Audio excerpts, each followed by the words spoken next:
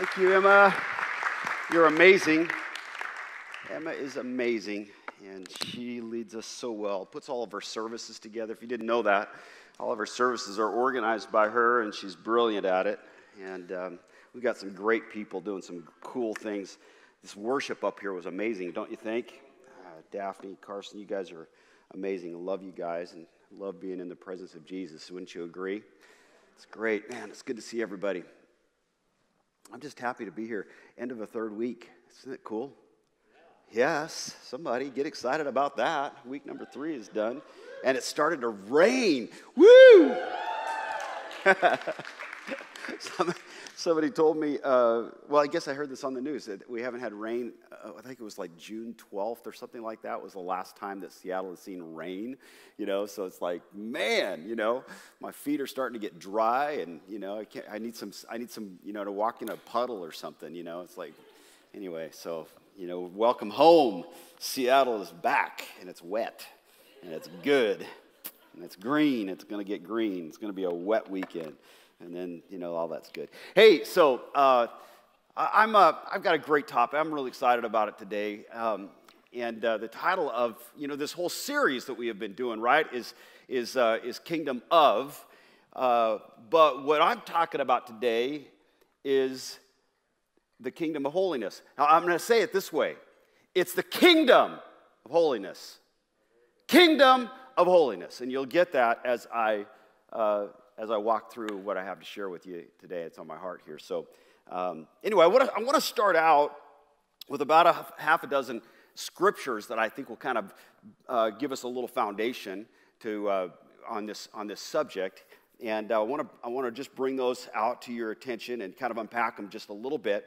But uh, the writer of Hebrews, chapter 12, 14, he actually gives us a command. Uh, I mean, it's a, it's a strong word about holiness. And the word he says is pursue holiness. For without holiness, no one will see the Lord. And, and that word pursue indicates uh, that it's, a, it's an effort, it's a, it's a lifelong, ongoing, it's not a one and done. It is a lifelong, continual process of pursuing holiness. All in, going for it, I'm going to keep on going for it. I'm going to get better every day at it. I'm going to keep on going. I'm not going to quit, not one and done. So, great command, great for us to start off on. We got this holiness, and we're going to we're going to press in. But where can holiness where can it be found? And I like and this is why I use this the, the, the emphasis on kingdom. King it's found in the kingdom. The kingdom of holiness. Matthew 6, 33. And here's a few other scriptures for you. Seek first, press in. Seek first, it's an active, seek first the kingdom of God and his righteousness, and all these things will be added to you. What things? All these things. Some people think, well, if I pursue the kingdom of God to his right, righteousness, I'm going to get that really fancy red sports car I always wanted. Well, that would be cool for you, but that's not exactly what this scripture is talking about. Now, if you get one of those, share it with me, please. I'd love to test drive it. It would be so much fun, and I would, I would bless you for it. It would be awesome that you would have it. That would be great that God would bless you with that, or your, you know, God would give you such wisdom that you could make, you know, the kind of money to have one of those. But he's not talking about that here. He's not talking about all of these other things that you'll get. It's what kind of things? It's kingdom things. It's righteousness, seek righteousness, and kingdom things will be added to you. Kingdom things. Luke 17, verse 20. The kingdom of God is not coming with signs to be observed, nor will they say, Look, here it is, or there. For behold, the kingdom of God is in the midst of you. So, the kingdom, it's a both and situation. Both and. It's, it's already and it's not yet. We anticipate God's kingdom and we're looking forward to that. The kingdom of heaven and eternal life with Jesus. And I want to tell you something, I can't wait for that to happen. I am looking forward to spending eternity with the King of Kings and Lord of Lords. To be with Jesus forever is the, will be like, okay, this is incredible. But that hasn't happened yet. One day, it will happen. So the kingdom of God is not coming with signs and wonders to be observed. You know, maybe there's some signs, and the Bible talks about signs in the end times, and all of that is great. But that's not what we're talking about. The kingdom, it's it's already here. It's in the midst of us. It's an already, but not yet. It's already here, but it's going to be amazing. Romans 14, verse 12 the kingdom of God, it's not a matter of eating and drinking, but of righteousness, peace, of joy, and the Holy Spirit. It's not about our physical life, this eating and drinking, although we enjoy the pleasures of life, but it's about righteousness. It's not about our physical life as much as it is about our spiritual life, our spiritual life. And then finally, John 3 3.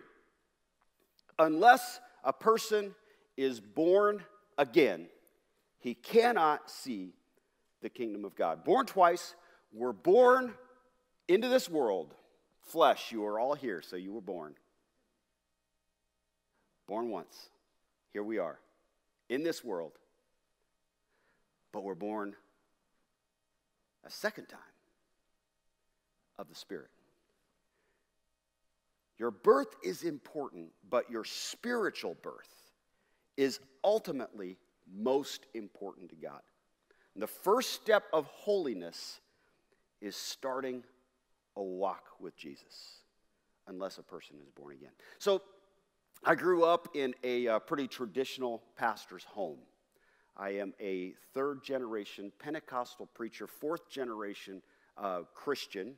Uh, and I won't go into the whole story of my, my uh, background, although it's just been documented in a, in a recent book that just came out. Uh, it's on Amazon, actually, and I won't even share that unless you want to know about it later. But uh, a person actually documented my family line, which is incredible, and uh, uh, some amazing stories of God's goodness. I grew up in this traditional family home, and when I say traditional, I mean traditional in, in all of the sense of the word. I mean, my parents did not engage or allow our home to engage in anything that portrayed the world. When I mean that, I mean it very sincerely. Uh, there was never secular music played in our home. There was never alcohol consumed in our home. There was never uh, swear words spoken in our home. Not even close. Not even, you know, not nothing. I mean, what, I mean, our, like we could, we could not use the word stupid in our home. I'm serious. The word idiot was not allowed in our home. You could not call your brother or sister in my, I mean, I could not say that to my, to my brother and sister, even though I might have thought it once or twice. And I, you know, I grew up in that environment. And, um, you know, coming to Northwest, I came to Northwest here and, and, uh, and still today have a lot of um, uh, friends who grew up in, in, in very traditional homes like that. And when I was at Northwest here, uh, it was interesting how many of my friends actually, uh, coming from homes, pastoral friends that I engage with, actually went through um, some real se- seasons of rebellion, really rebelled. Uh, they rebelled against the church because of the, the legalism that they found, found in that, uh, the formalities, the rules that they felt that boxed them in. And uh, but I am, for me, uh, very grateful today. And, and I say it sincerely and honestly, I'm thankful for my parents. I just celebrated my dad's 90th birthday on Labor Day. And uh, just to hear him again, just so eloquently, 90 years old, talk about taking the risk of his life for the kingdom of God. It was just compelling as he talked about uh, the important things in life and just had this moment with uh, this horde of people uh, six, five kids, one adopted kid, child, all of their children, and now great grandchildren. I think there's 28 great grandchildren. It's just a massive group of people. But it allowed, I'm thankful for my parents, it allowed me to see their life of holiness and how that played out in in the way that they embraced culture. Culture. And I'll tell you honestly, at times as a young person, it was a bummer you know, I wanted to be accepted by my peers. Um, I wanted to be uh, accepted, embraced by them, and, and uh, those times I lost friendships over, the, over my home situation, what I was allowed to do and not to do. because my home was different. Was different, very much so. But as I watched my parents, here's the, here was the difference it wasn't about rules, it was about having a healthy view of holiness. Now, I could unpack that and take time there, but I'll stop right there for the sake of time. It was a healthy view of holiness. There are two kingdoms, again, emphasizing the word kingdom, that I think we really have to get a, a picture of this. Two kingdoms that we deal with. And we're born once, like I said, and we're born twice. John 3 3, born again. We're born once physically into this world, into this world that we, this culture that we have to deal with. We're born in it. My family um, is mostly from Canada. Uh, Brenda's family is mostly from Canada. All of my relatives are, are uh, in Canada, with the exception of my immediate siblings and my dad. Uh, all of my cousins and uncles are all there. Brenda, the same thing. All of her, her mom lives there, all of her cousins. Uh, and in Canada, we talk to them oftentimes. They, you know, in Canada, they deal with a sort of a socialist sort of a government. And they look at us in the United States and go, You guys have got this democracy. It's awesome. We would like to live there, you know. And, you know, it's like, well, right now it's like an interesting place to live, you know. You sure? You know, and, but, but the, and, it, and I'm not making it about politics, but here's the thing. You know, either way, they're governed by people. This world we're living in. You know, some good, some not so good. Some governments are flat out evil. Look at what's going on in Afghanistan right now. You know, if you're a good citizen, things can go well for you, but at the same time, th- things are not guaranteed. You know, you pay taxes and you vote and you do your part to live in this imperfect system made by man, governed by man, and enforced by man, and it is imperfect. It is imperfect. And I'm not just talking about government, I'm talking about, you know, the social constructs that we deal with in our in our world. It's broken. And Jesus said in John 17, We're in this world, but we're not of this world. We, we, we got to deal with this. We've got to live here. We've got to understand the culture. But there's another world. There's another world. Now, we can't avoid this world we're in. As a matter of fact, I believe, for me, God has placed me here to be the representative of a better system.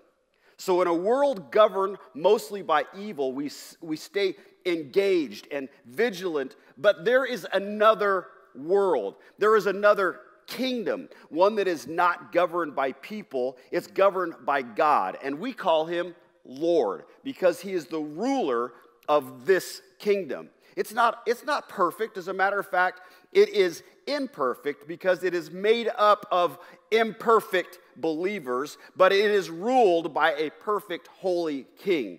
He knows all, he sees all, he understands all, and he is over all. While some may not believe it, he is even over the kingdoms and nations of this world.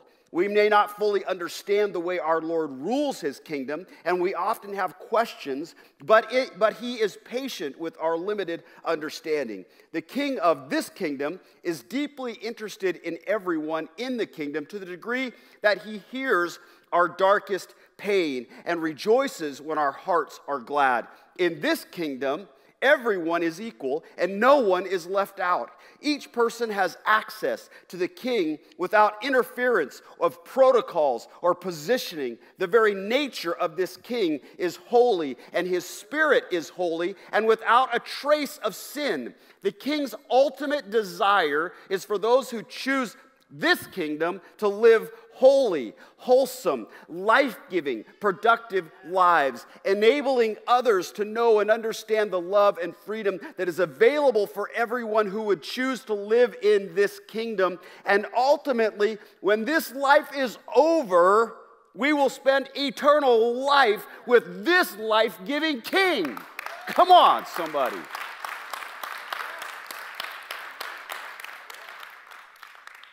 That's the world I want to live in. Got to do this thing. Well, I'm loving this thing. This is where I'm at. So holiness starts at spiritual birth. How? John 3 3. Be born again. As soon as you accept Christ, you are holy. As soon as you accept Christ. The Holy Spirit is present in your life, and you are embraced as a child of the King. And as soon as you embrace the King with a repentant heart and ask Him to, en- to enable you to live a holy life, you are holy enough to be part of this kingdom. Cool start of the journey. Now, some would say, some would say, and they choose to believe, that we become holy enough to enter this kingdom. That in some way we have to become holy by our effort. I have to do something right or, or not do something wrong. I, I had a, a, kind of a funny situation one time. Uh, a student actually made an appointment with me, came and visited my office, sat down, and uh, I'm like, okay, you know, you want, you want to talk. Let's talk. What, what, what would you like to talk about? And so he starts out and he says this. He says, my blankety blank pastor, do you know what the words, you know what that means, blankety blank? Guys got, yeah, you got that, right? My blankety blank pastor said that I can use blankety blank adult language and still go to heaven. I was like, hmm. hey, interesting thought. Be like, okay, where's this going? You know, I'm like, oh.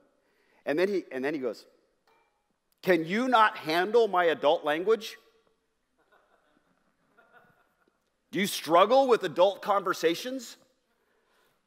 Well, you know, we had a interesting conversation in my office today.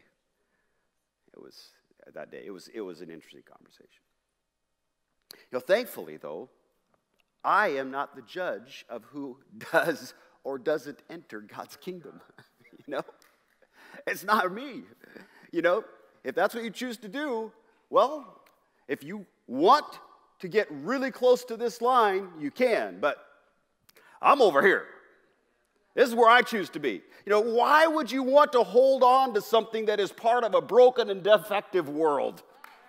You know, why even go there? Why?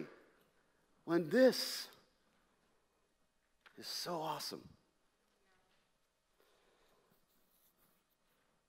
The desire to be holy starts when we accept Christ. This quote from Jerry Bridges, he wrote the book, The Pursuit of Holiness. He said, When the Holy, Holy Spirit comes into our lives at our salvation, he comes to make us holy in practice. If there is not then at least a yearning in our hearts to live a holy life pleasing to God, we need to seriously question whether our faith in Christ is genuine. It is true that this desire for holiness may be only a spark at the beginning but that spark should grow till it becomes a flame, a desire to live a life holy, pleasing to God. True salvation brings with it a desire to be made holy. You know, the, the idea of holiness for many brings to mind, you know, the idea of, you know, some conservative style of dress or, you know, some kind of outward appearance that you know, in some ways is, is you know, I don't know, like a, you know, bund hair. I, I don't know, long, you know, I mean, you know what I'm saying? I don't know. I don't know. I don't even know, you know? Brenda and I, um, Clint, you'll appreciate this because you're, you're going to know exactly what I'm talking about. Clint is a really good friend of many years here, and we've had life together before Northwest. Brenda and I worked in a ministry position for a few years. um, the foundation of the organization was extreme holiness from where it came from, uh, from an outward appearance. And uh, women, women, the women wore skirts and nylons and limited makeup. That was kind of the dress code. Men were in shirts and ties and jackets. And, and uh, you know, Brenda, my wife, she would, she would make lunch appointments with her girlfriends and, uh, you know, and she would leave the office. But before she would leave, she would go into the women's restroom and she would put on her normal clothes. yeah. She'd put on her normal clothes, you know. And so then she'd go have lunch and then she'd come back and put back on her, her uh, you know, conservative attire. And the funny part of it for me was at the time I was kind of acting as this sort of uh, department manager, if you will. And uh, um, I, the other women in the, on the floor where we worked would see her leave the office in her you know, regular clothes out of uniform. And so they would call HR. Hey, there's a, there's a there's a woman who's not dressed right. I'm serious. I am not lying to you. There's a woman not dressed right. We saw her leaving the building, and she needs to be corrected. And so my phone would ring. we have just received a report that Brenda Rasmussen has been not dressing right, appropriately so, and that needs to be corrected in your department. Will you please have a conversation with her? Yes, I will. Thank you. Brenda, what are you doing? Change at the restaurant. Anyway. But we get into this sort of Pharisaical danger. You know, following this idea of holiness puts us in danger of becoming like the Pharisees with a list of do's and don'ts and, you know, self righteous attitude. For some, it's about how you look, you know, your mannerisms or whatever. And for others, it's, you know, this unattainable perfection which only fosters delusion, discouragement, uh, and discouragement about sin. So, what is holiness? To be holy is to be morally blameless, to be separated from sin, and consecrated or grafted, I love that term, grafted into God. Grafted. In John 15, 5, uh, there's a great passage of scripture. Jesus says, He says, I am the vine, you are the branches. If you will remain in me, if you will stay grafted, that's a great term. If you will remain in me, be grafted into me and I am grafted into you, you will bear much fruit. Apart from me, you can do nothing. This word grafting, it's, a, it's an agrarian horticultural technique where tissues of, of plants are joined by means of tissue regeneration to continue their growth together. It's like, it's like you could do well by yourself. Sure. You want to do okay? know, the Bible says it's actually uh, it's great scripture. You know, uh, one, one strand can be easily broken, but three strands, no one can separate it. Grafted.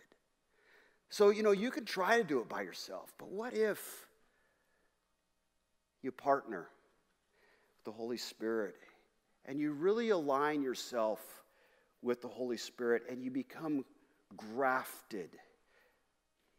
and you allow this vine that Jesus talks about to grow together, do you know how strong that becomes as you grow? Grafted. I am the vine.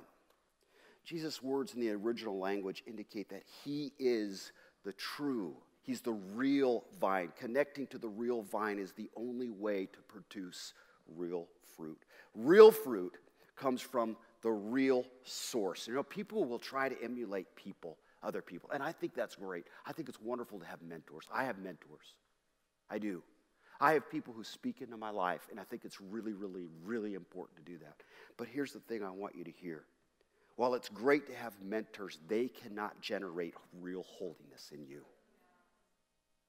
Only Jesus can do that. Only Jesus can do that when you become grafted together. Only He can do that.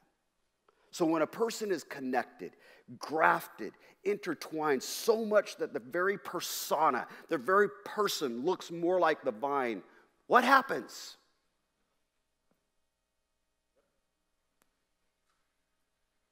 Fruit.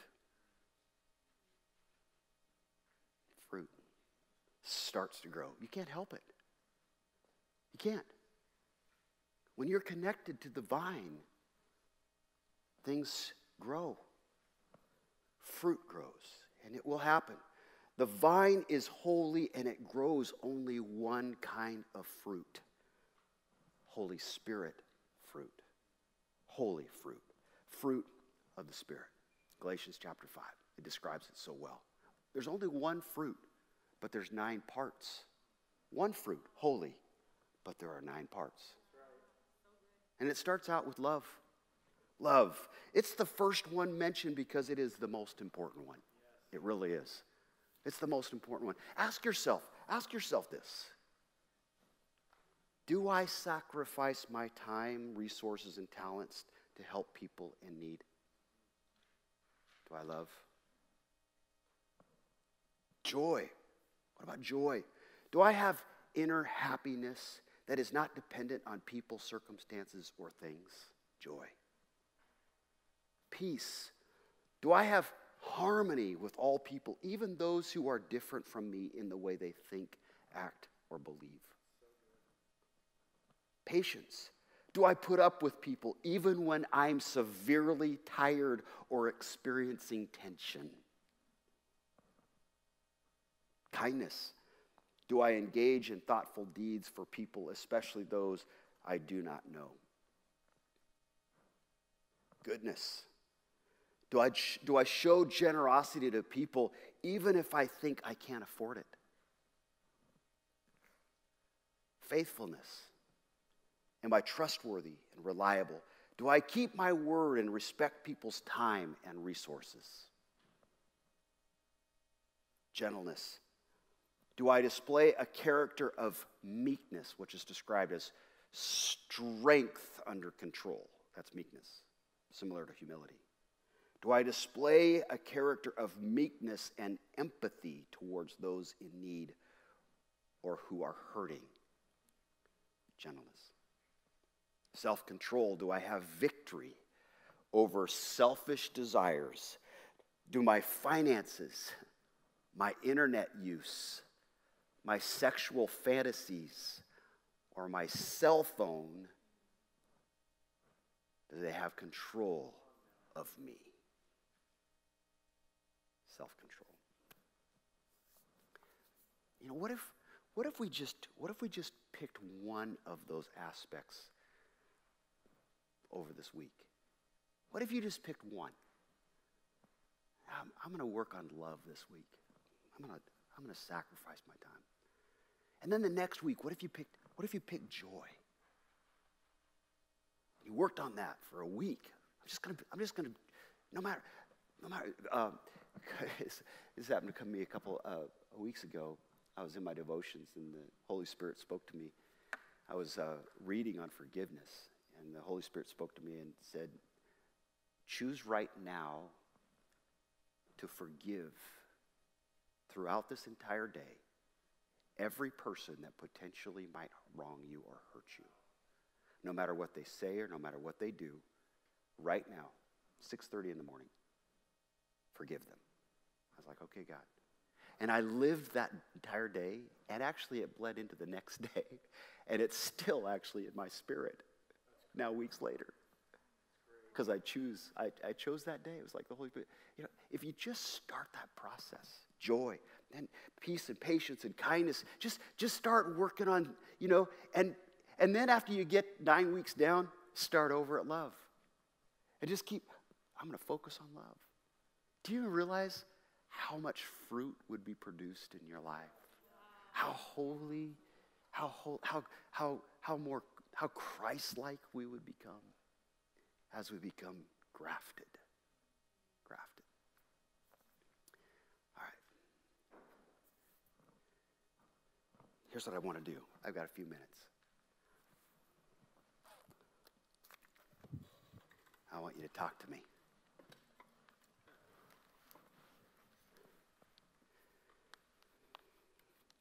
How has this impacted you right now? What are your thoughts? Not everybody at once, because that would be overwhelming. Right there. Stand up and speak really loud so everybody can hear you. Yeah.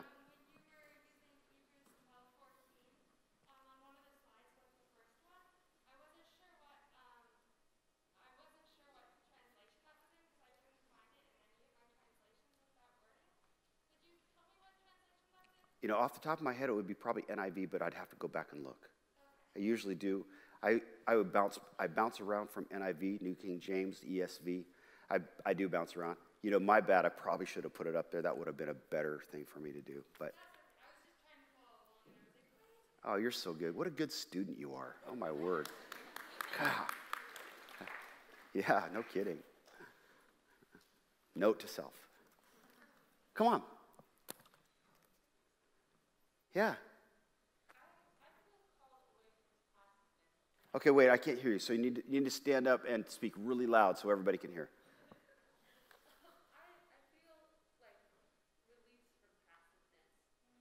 Oh, good. Release from passiveness.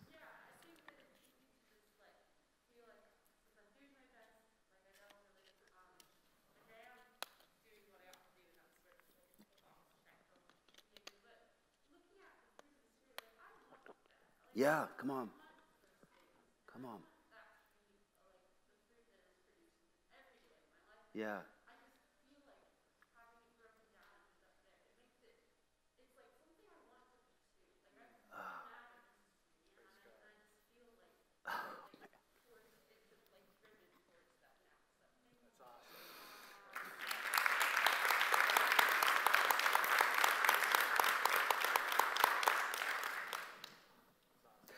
Okay, you're all dismissed. it's like broken me up right now. Are you kidding? Wow.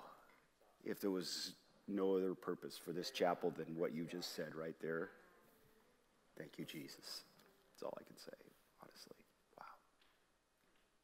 I see a hand right back there in the middle. Yep, sure. Stand up and speak really loud.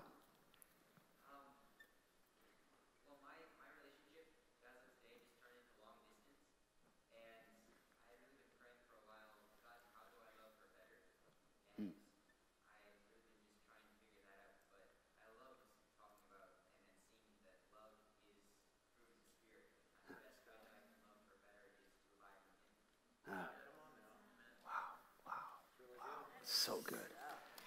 Wow, so good.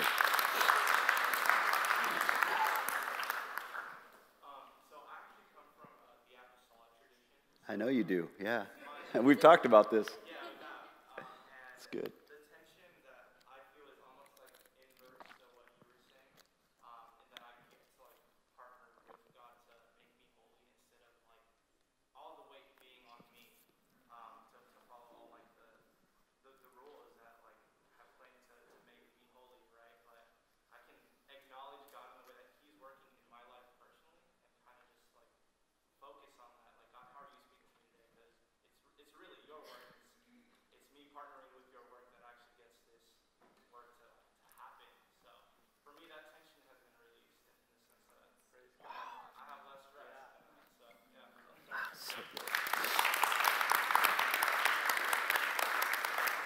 So good.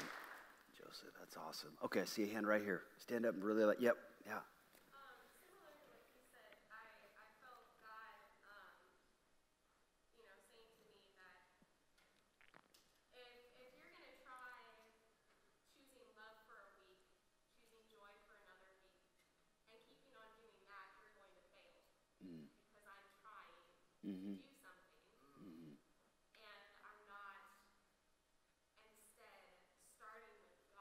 Mm-hmm. yeah. That's good. yeah. Yeah. Yeah. Yeah. Wow, that's so good. I love that. That's well said. Anybody up in the balcony looking up there? Last chapel, we had a couple people up in the balcony. I don't want to miss anybody up there. All right. I'll say, I see one more hand right back here, and then we'll let you, we'll we'll uh, we'll end. Go ahead.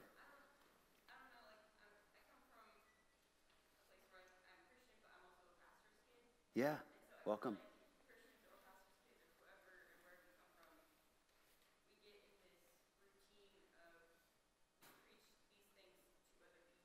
Yeah.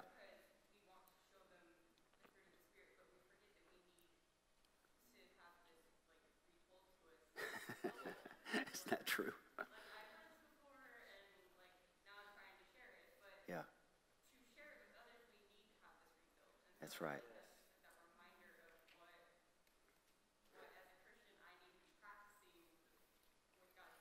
Yeah.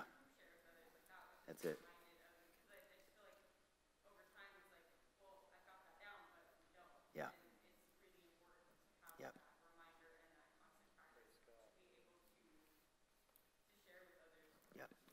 Yeah. Good word.